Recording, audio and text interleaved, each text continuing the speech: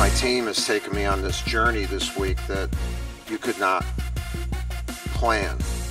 You know, first of all, the the caliber, the high caliber of teams that you had to beat in order to achieve this, and the deficits that you had to overcome in each of the last three games. You know, they made a, a really good push in the second half, and it kind of knocked us back. You know, all our guys stayed poised. No one was ever, you know, like rattled. After every time out, you know, we huddled and, and we were strong, and that's why I was really proud of my guys because everyone was strong today. Matt's coming through the whole game.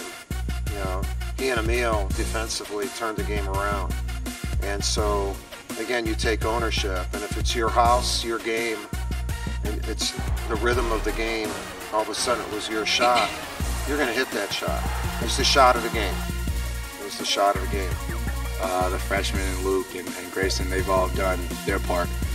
And uh, Mill as well. Um, so in this game, it kind of just went down to everything we've been through um, as both players and, and people. So, um, I mean, we just put our hearts out there on the line and uh, that's what everybody's been doing. The looks on guys' faces were the looks of champions, even when we were losing. Um, so it, it, made me and Matt's job easy, you know, to lead guys who want to be led, to lead guys who, who are fighters, and you know, to have you know players like Jayson Tatum and, and Luke Kennard who, who are just dynamic scorers and you know always tough players. You know, it makes our job easy. So you know, today was you know just a time for me and Matt to be able to lead these guys. You know, we have guys who can make plays and they're, they're not selfish and they can make plays for one another. Through this all, i have just been so emotional. I'm just so happy.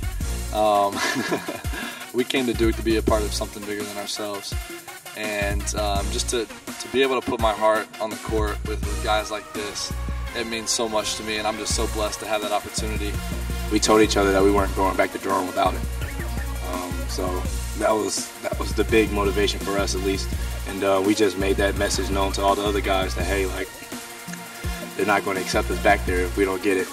It took me long enough to you know finally get one. Um, I had to come back another year, um, and I, I, just wanted to win. We've won a lot of these. We've won this our 14th, and but this one's so different. Like how cool is it for me for these kids to take me on a journey that at 70 I've never been on. I've been on a lot of good journeys, but this was this was such a good one. And thank you.